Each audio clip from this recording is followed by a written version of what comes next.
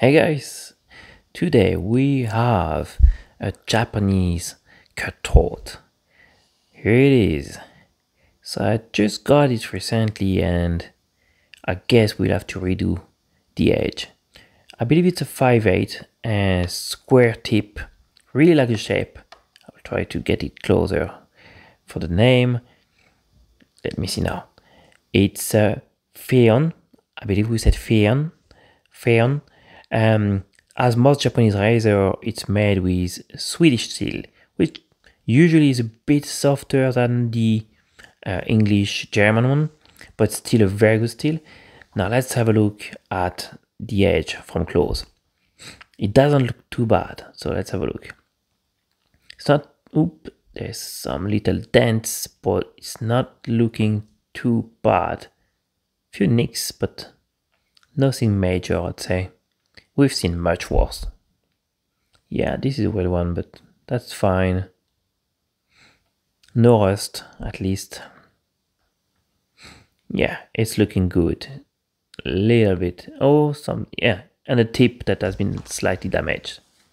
Alright, so just to make sure we're doing it properly, we're gonna start with the diamond stone, the Atoma 600. We're gonna protect the spine with the tape just check that the blade is straight with our Sharpie. I mean flat, not twisted. Okay. Now, let's see if the Sharpie is gone. Yeah, perfectly gone. So we have a very flat, perfectly shaped uh, blade. That's good news. Now, let's build our bevel. First, I'm always do, doing some uh, back and forward.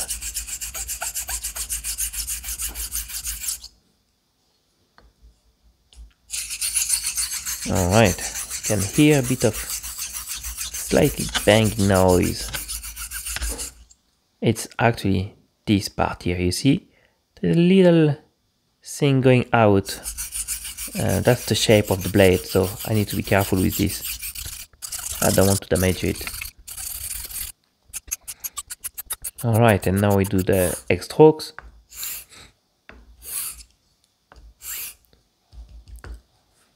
Alright, should be good. Let's have a look. Yeah, looking much better. That's our bevel.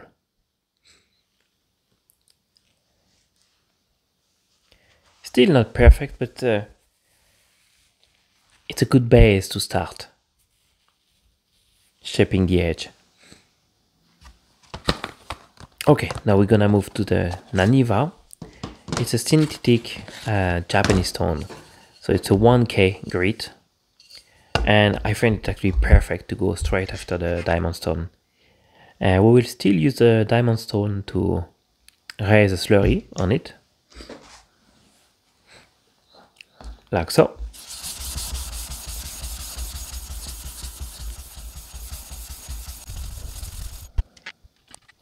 Alright. And same same. Back and forward first. And then we'll go with the usual uh,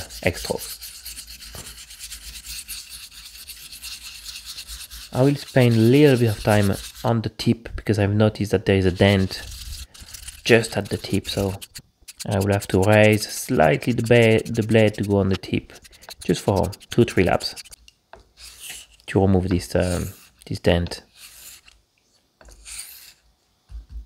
All right, let's try the blade and have a look under the microscope.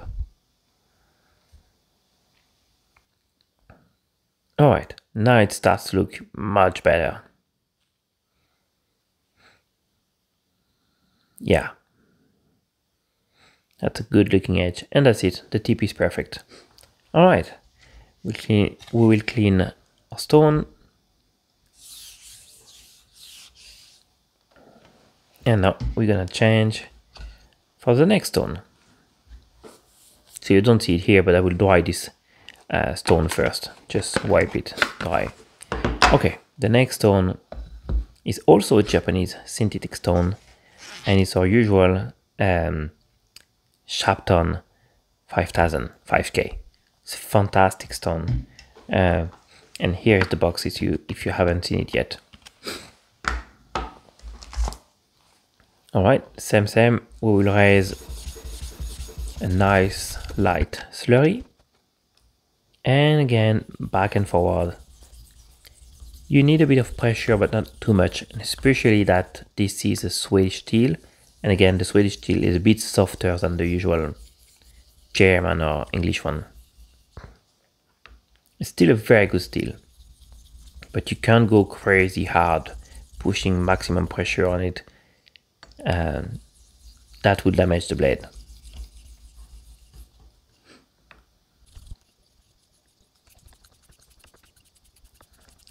Alright, now we'll finish with the usual X strokes.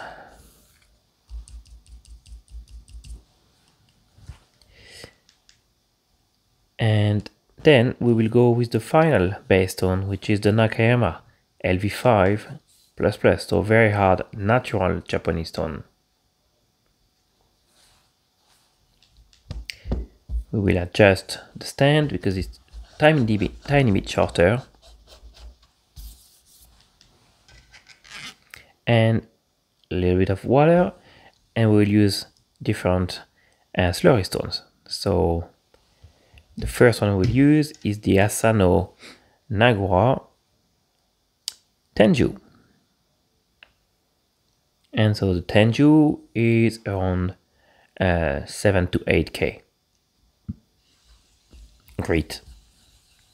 Again, careful when you use the stone, you see, no pressure, but just slightly bend the stone one side to another, and that will raise a slurry quickly, but no pressure. You don't want to um, leave some small bits on your base stone, because that will straight away damage your edge you need to have a very uh, fine slurry. Alright, now from now on, it's only X strokes. And we don't need much pressure at this stage.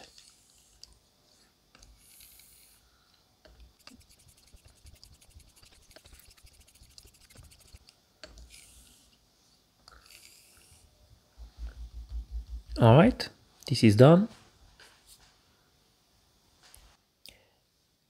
Now, look at that edge. That's the magic of the Japanese natural stone.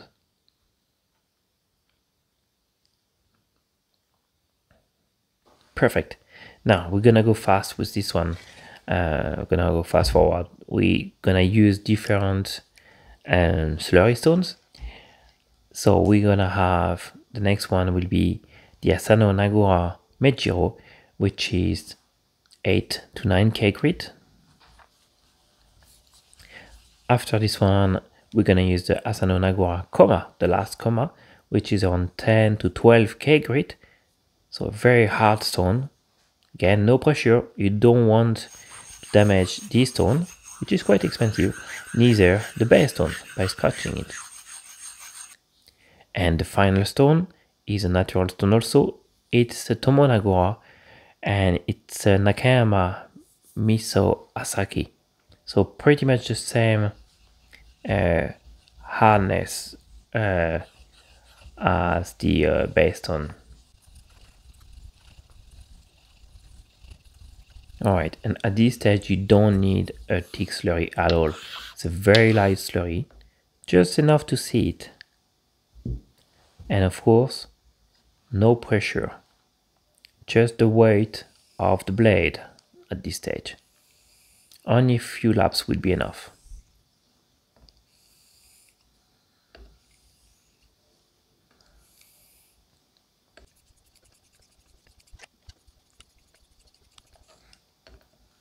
All right. Just make sure that the blade is flat and we are done. Let's have a look at the final edge under the microscope and it's not looking too bad at all.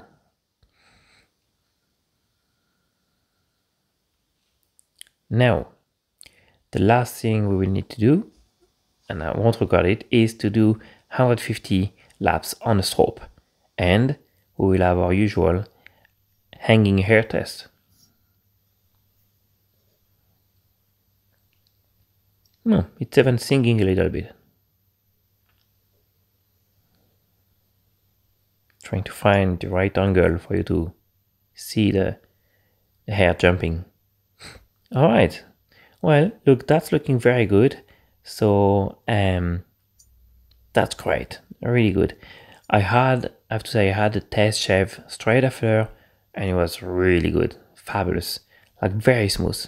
I will definitely keep the this razor part of my collection. I love the shape. It's very uh, malleable, very easy, very easy to use. So hope you liked the video. If you did, I always appreciate a small like. Thank you so much guys. Bye now.